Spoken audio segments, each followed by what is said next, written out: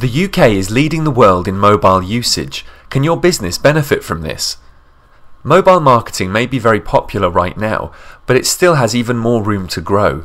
According to BuzzCity, a renowned mobile internet marketing firm, mobile is expected to double in traffic by the end of 2012.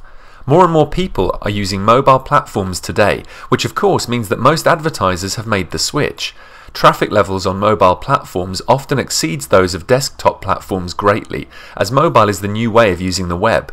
BuzzCity does a quarterly report on the growth of mobile marketing worldwide, and for this quarter they saw some pretty outstanding results.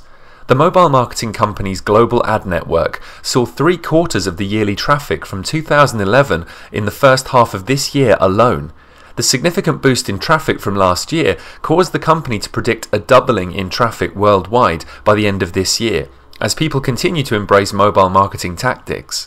BuzzCity also did a measuring of the most popular markets based on usage for smartphones in the world. The top markets included Saudi Arabia, 94%, the United Kingdom, 90%, Spain at 88%, China, 87%, and Singapore, 80%. The market has been continually increasing worldwide since last year, and the United States isn't even in the top 5 markets for smartphones. It seems that Android has been the leader. As BuzzCity writes, the growth of iOS has slowed in emerging markets. Price is likely a factor. In overall mobile marketing growth, however, the top markets are a bit different. BuzzCity ranked these markets by ad banners served within the quarter, and topping the list is India, with over 14 billion banners served, followed by Indonesia, with over 6 billion banners served, and then the United States, with over 2 billion banners served. These three markets have remained in the same spots in the top three since Q1, although the United States' mobile marketing growth is down 9% since the first quarter of 2012. This is probably due to a higher focus on social media in the United States recently, as people are focusing their attention on the amount of traffic that social networks bring in.